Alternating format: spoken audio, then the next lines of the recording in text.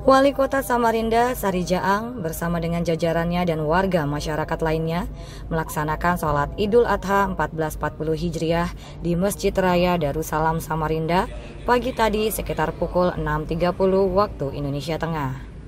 Dalam pelaksanaan sholat id tersebut dipimpin oleh Ustadz Ismail Rahmi dan kemudian khotbah dipandu oleh Kiai Haji Junaidi Maksum dengan tema Hikmah Idul Kurban bagi umat Islam.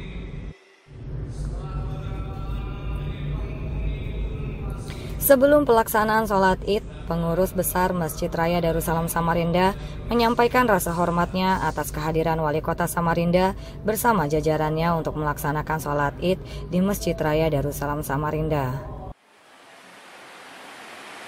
Bapak Wali Kota dan jamaah Idul Adha rahimahullah.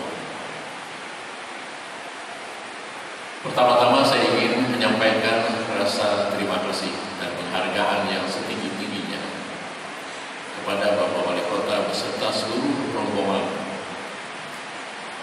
forum koordinasi pimpinan daerah beserta para asisten, kepala dinas, badan dan lembaga yang telah memilih Masjid Raya Darussalam Samarinda untuk melaksanakan sholat Idul Adha bersama-sama dengan masyarakat kota Samarinda. Usai pelaksanaan sholat id di Masjid Raya Darussalam Samarinda, Wali Kota Samarinda Sari Jaang langsung menyerahkan satu ekor sapi kurban kepada pengurus Masjid Raya Darussalam. Samarinda untuk mengambil berkah dari acara ini kami mohonkan pembacaan doa kepada Bapak Dr. Andas Haji Ahmad Rasidin Nadiem. Pada beliau kami persilahkan. Mari kita berdoa bersama-sama memanjatkan doa. Memaknai Hari Raya Idul Adha adalah merupakan wujud manusia dalam mendekatkan diri kepada Allah Subhanahu wa taala, baik dengan melakukan ibadah maupun berbagi rezeki kepada sesama manusia yang membutuhkan bantuan. Tentu momentum Idul Adha ini adalah merupakan sebuah uh, rangkaian ibadah yang merupakan satu ibadah yang bertepatan dengan pelaksanaan ibadah haji.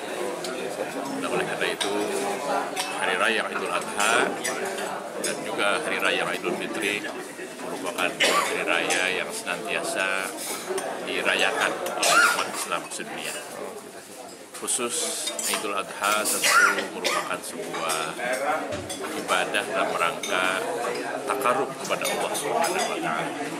Sehingga pengertian kurban di situ adalah pengertian kurban eh, dalam rangka mendekatkan diri kepada Allah Subhanahu. Nah, tentu ada dampak eh, sosialnya.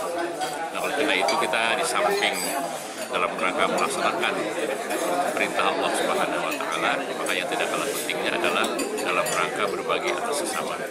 Bagi mereka yang berpunya, yang memiliki kelebihan dari sisi harta, maka sangat dianjurkan untuk dapat berkorban sehingga saudara-saudara kita dapat menikmati dan ikut memeriahkan Idul Adha yang penuh dengan keberkahan.